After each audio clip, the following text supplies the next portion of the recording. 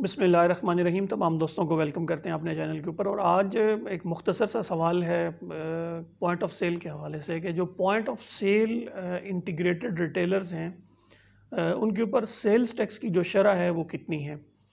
तो ये सवाल बार बार हो रहा है कि वो कितना टैक्स सेल्स टैक्स चार्ज करेंगे? पहली बात तो ये है कि सेल्स टैक्स की जो शरह नॉर्मल सेल्स टैक्स एक्ट के अंदर है, वो वही रहती है। अगर वो वेदर वो सेल्स टैक्स इंटीग्रेटेड है या नहीं है।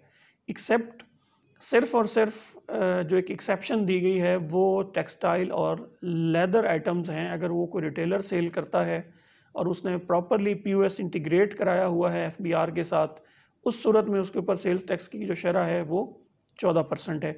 अब वन बाई वन थोड़ा सा हम देख लेते हैं कि जो सेल्स टैक्स की शरह है और सेल्स टैक्स की चार्जेबिलिटी है, उसका जो डिफरेंट शेड्यूल हैं सेल्स टैक्स के उसके मुताबिक। अब इसमें जो एक, आप कह सकते हैं कि जनरल रूल ऑफ़ थम होगा, वो तो यही होगा कि जब भी आपने सेल्स टैक्स का रेट देखना है या चेक करना है कि वो सेल्स टैक्स कितने परसेंट इस प्रोडक्ट के ऊपर लग रहा है तो उसका बेहतरीन हाल ये है कि जैसे अगर मैं बात करूँ सिक्स शेड्यूल आइटम्स की तो सबसे पहले अगर हम बात करें सिक्स शेड्यूल आइटम्स की तो आपको जैसे कि पता है कि सिक्स शेड्यूल आइटम्स जो इस में पाई जाती हैं वो उनके ऊपर जैसे टेबल वन है तो उसके ऊपर इम्पोर्ट और सब्सिक्वेंट सप्लाई जो होती है वो दोनों सूरतों में इम्पोर्ट स्टेज पे भी उन पर टैक्स नहीं होता। जब सब्सिक्वेंटली आप सप्लाई करते हैं तो उन पर फिर टैक्स नहीं होता। और टेबल टू के अंदर नॉर्मली वो प्रोडक्ट्स आती हैं जिनके अंदर इम्पोर्ट स्टेज पे तो टैक्स होता है बट लोकल जो सप्लाई होती है वो एग्ज़ाम हो जाती है। सो so, अगर आप सिक्स शेड्यूल का देख लें उसके अंदर जो आइटम्स अगर आपकी को फॉल करती हैं इस वक्त जैसे कि आपकी स्क्रीन के ऊपर है सिक्स शेड्यूल की आइटम्स तो उसमें आप देख रहे हैं कि इसमें चंद मैंने एग्जांपल के तौर पे कुछ रखी हैं। अगर ऐसी कोई प्रोडक्ट आप सेल करते हैं तो चाहे आप पीओएस से करें या पीओएस के बगैर करें, आप कोई सेल्स टैक्सेस के ऊपर चार्ज नहीं करेंगे। नेक्स्ट जो हमारे पास है, वो जैसा आपको पता है कि एट शेड्यूल है। अब एट शेड्यूल का जो एक जर्नेरिक बिहेवियर है सेल्स टैक्स एक्ट के अंदर वो ये है कि इसमें नॉर्मली ऐसी प्रोडक्ट रखी जाती हैं या ऐसी गुड्स रखी जाती हैं जिनके ऊपर जो है वो स्टैंडर्ड रेट से कम सेल्स टैक्स होता है। पाँच परसेंट, दो परसेंट, तीन परसेंट, दस परसेंट। तो उस सूरत में अगर आप अपना पी इंस्टॉल करेंगे तो आप अपनी सेटिंग जो है वो अकॉर्डिंगली करेंगे। जैसा कि मैं अगर एग्ज़ाम्पल दूँ कि जो रेस्टोरेंट की सप्लाई है वो साढ़े सात परसेंट पे है। तो जब रेस्टोरेंट के ऊपर पीओएस इंस्टॉल होता है तो उस पर जितनी सेल्स भी निकल रही होती हैं इन्वाइसेज इशू होती हैं उस सूरत में वाया पी ओ एस तो वो साढ़े सात परसेंट टैक्स चार्ज कर रहे होते हैं जबकि जर्नल जो एक जेनेरिक रेट है जैसा आप सब जानते हैं जीएसटी का वो नॉर्मल सत्रह परसेंट है।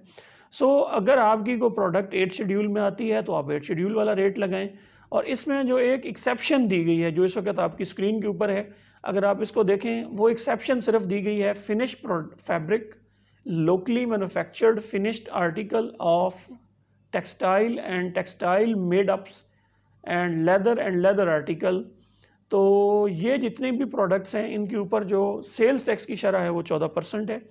इसके अलावा कोई भी प्रोडक्ट आप बेचेंगे तो उसको आप अकॉर्डिंग टू हिस शेड्यूल सबसे पहले वो आप सेल्स टैक्स का शेड्यूल देखेंगे, वो किसमें फॉल करती है, और उसके बाद उसके ऊपर जो है वो सेल्स टैक्स की आप चार्जेबिलिटी करेंगे। इसके बाद हम आखिर में बात कर लेते हैं कि अगर ऐसी तमाम प्रोडक्ट्स जो इन शेड्यूल्स के अंदर फॉल नहीं करती, जैसा कि सिक्स की हमने बात की एट्थ की हमने बात की, फिर नाइन्थ शेड्यूल की हमने बात की।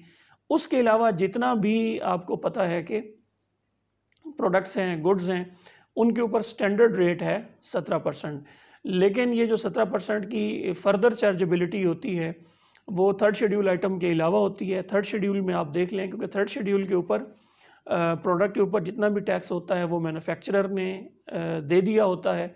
उसके ऊपर प्राइस जो है वो इम्पोज होती है तो इसलिए वहाँ पे जो रिटेल प्राइस के ऊपर, यानी कि जिस प्राइस के ऊपर अल्टीमेट रिटेलर ने वो चीज़ परचेज़ करनी होती है, उसके ऊपर उसका जो मैन्युफैक्चरर होता है, वो मैन्युफैक्चरिंग स्टेज के ऊपर ही टैक्स दे देता है। तो इसलिए इसके अलावा जितने भी प्रोडक्ट्स होंगी, उसके ऊपर जो है, जब भी आप पी इंस्टॉल करेंगे तो आप सत्रह परसेंट टैक्सेस जो हैं वो चार्ज करेंगे।